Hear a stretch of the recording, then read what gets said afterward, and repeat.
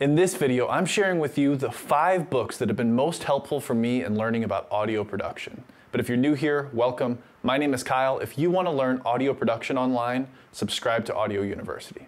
The most valuable thing you can have in the audio industry is real world experience. However, nothing is more powerful than real world experience met with an understanding of the theory behind audio concepts.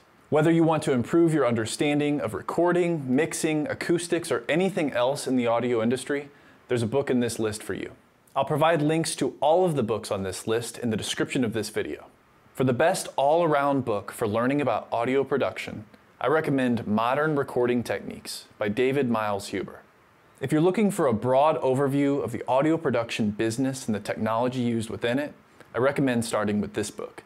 It's in its ninth edition, and it covers a vast range of topics.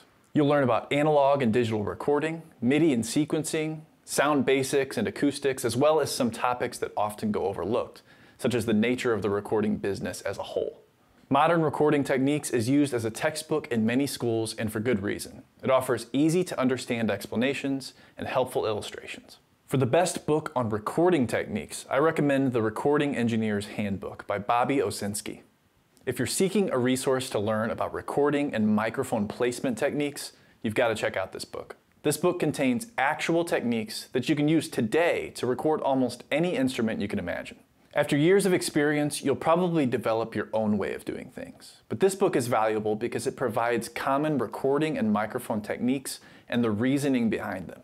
You can then use those techniques as inspiration in developing your own methods down the road.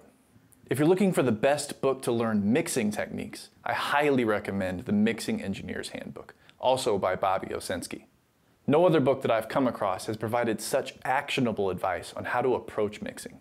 He packages mixing theory in a framework consisting of six elements balance, frequency range, panorama, dimension, dynamics, and interest. He also discusses mastering in this book and how to mix with the mastering process in mind. The concepts in this book will likely become a foundation for you as you develop your own unique workflow and style. If you want to learn about live sound production, I recommend the Sound Reinforcement Handbook by Gary Davis and Ralph Jones. The Sound Reinforcement Handbook is one of the most classic resources in the audio industry. I often pull this book off the shelf as guidance when I'm making Audio University videos. Although this book approaches audio production from the angle of live sound production, the information found in it is applicable across the board. The best book for learning more technical audio concepts is The Handbook for Sound Engineers by Glen Ballou.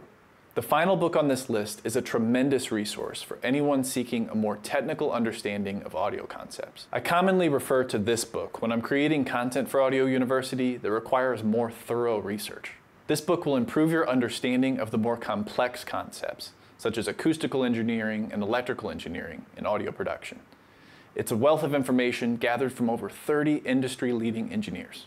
If you want to venture into the deeper principles of audio production, this book is perfect for you. And there they are, the five books I recommend every audio engineer should read. Again, I've provided links to each of these books in the description of this video. If you got value out of this video, hit the like button, share the video, and subscribe to Audio University.